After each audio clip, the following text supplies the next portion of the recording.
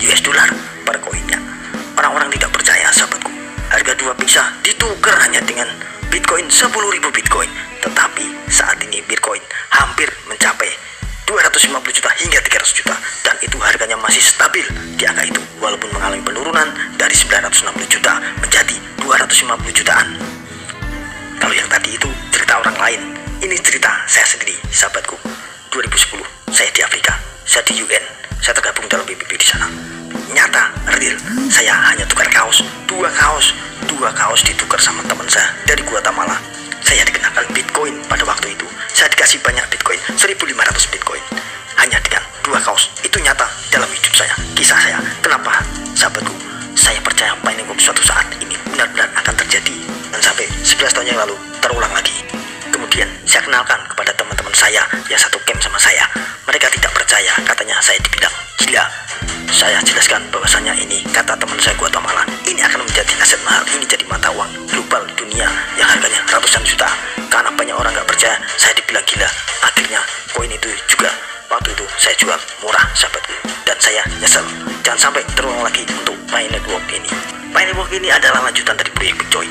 Penciptanya itu orang yang nggak sembarangan, orang nggak sembrono, ahli kripto, ahli blockchain. Kisah lain tentang pemegang Bitcoin. Kisah ini paling populer di dunia. Pada Mei tahun 2010 lalu, seorang pria bernama Laszlo Hanyek di Florida rela menukarkan 10.000 keping Bitcoin dengan pizza. Ukuran jumbo sebanyak dua buah. Barter itu dilakukan dengan seorang pelajar berusia 19 tahun bernama Jeremy Sturdivant. Transaksi itu terjadi tanggal 22 Mei tahun 2010. Ternyata menjadi transaksi fisik pertama Bitcoin yang tercatat dalam sejarah. Sturdivant menghabiskan Bitcoin tersebut untuk traveling. Sturdivant mengaku tidak menyesal, ia malah bangga karena menjadi bagian fenomena global Bitcoin. Senada dengan Sturdivant, Hanyek mengaku dirinya juga tidak menyesal. Saya ingin membeli pizza karena menurut saya itu adalah pizza gratis. Sebagai informasi, harga satu Bitcoin per hari ini Senin 23 Januari 2023 adalah 341 juta rupiah.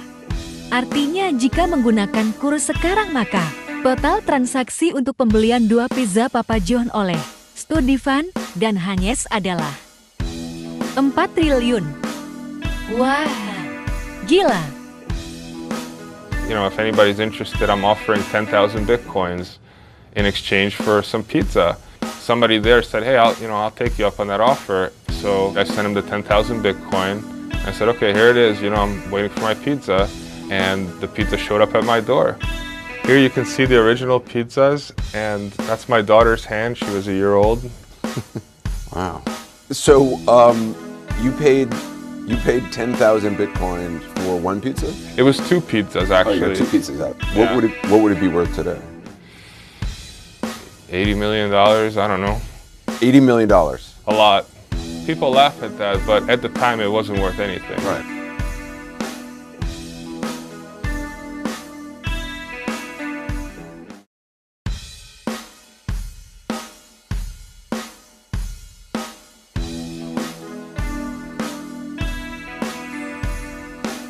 Kripto pertama di dunia yang menggunakan handphone atau smartphone kita adalah Picoin atau Pi Network ini.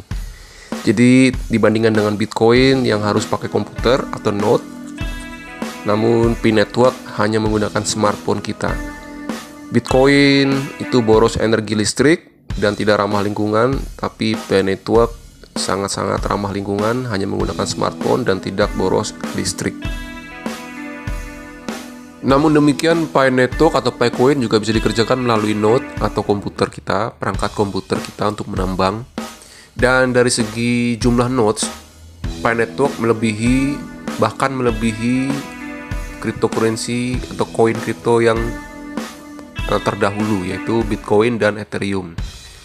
Yaitu jumlah nodesnya mencapai 364.000 lebih, sedangkan Bitcoin yang sudah muncul terlebih dahulu dari 2009 hanya 12.000 nodes. Sedangkan Ethereum dia hanya 2000-an nodes saja. Jadi sangat jauh dengan jumlah nodes Pi Network. Lalu perbedaan selanjutnya jelas kalau Pi Network adalah gratis untuk menambang sekarang ini. Sedangkan Bitcoin, Anda jika ingin menambang ya Anda harus mengeluarkan modal sangat besar. Dan kedua, Anda tidak harus memiliki keahlian khusus, hanya menggunakan handphone, nanti ada mentor atau orang yang mengajak Anda yang akan menjelaskan, mengajarkan. Sedangkan Bitcoin, Anda harus punya kemampuan khusus. Dan ketiga, Pi Network itu sangat-sangat kecil eh, peluangnya terkena scam.